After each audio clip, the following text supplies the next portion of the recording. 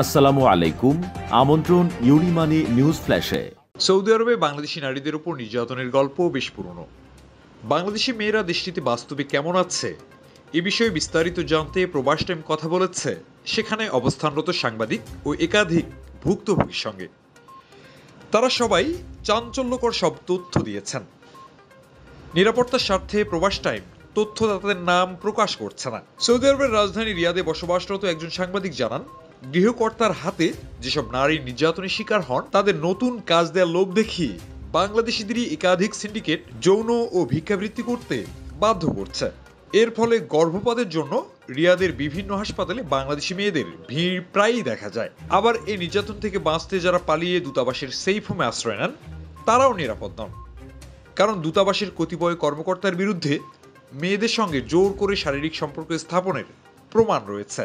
ফলে সৌদিতে ফুটন্ত কড়াই থেকে জ্বলন্ত উনুনে পড়ার মতো অবস্থা হয় অসহায় মেয়েদের। রিয়াদের আরেক সাংবাদিক জানান, বাংলাদেশের কয়েকজন দালাল বিভিন্ন শহরে মেয়েদের দিয়ে গোপনে যৌন কাজ করাচ্ছে। যেসব মেয়ে নিয়োগকর্তার বাসায় নির্যাতনের শিকার হয় তাদেরকে টার্গেট করে অপরাধী চক্র? এরপর তাদের মোবাইল নম্বর সংগ্রহ করে ভালো কাজের লোভ দেখিয়ে ফাঁদে ফেলে। নরসিংদীর জালাল আহমেদ নামে এক ব্যক্তি এরকম একটি চক্রের নেতৃত্ব দিচ্ছেন বলে জানান ওই সাংবাদিক।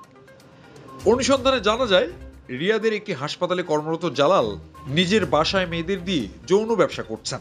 এ বিষয়ে কেউ খোঁজ নিতে চাইলে প্রায়শই দেখে নেয়ার হুমকি দেন জালাল। এদিকে বিপদে পড়া মেয়েদের দিয়ে ভিক্ষাবৃত্তির আরেকটি সিন্ডিকেট গড়ে তুলেছে আরেক দল অপরাধী চক্র। যারা এই কাজ করতে চায় না, তাদের ঘরে আটকে রেখে শারীরিক নির্যাতন করা হয়।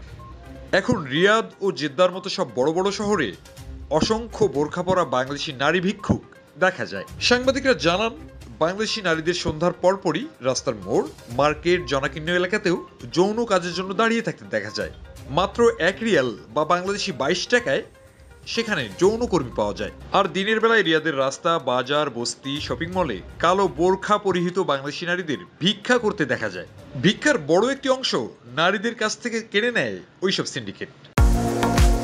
দেশে টাকা পাঠাতে মানি এক্সচেঞ্জে আসার ঝামেলার দিন শেষ।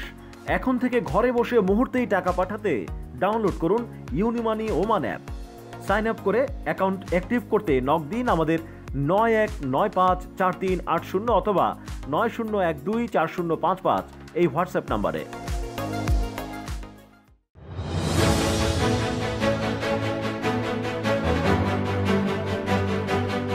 মধ্যপ্রাচ্য, ইউরোপ, এশিয়া বিশ্বের নানা প্রান্তের কোটি প্রবাসীর সংবাদ সংবাদ বিশ্লেষণ, অনুসন্ধান ও তথ্য জানতে প্রবাস টাইমের সাথেই থাকুন।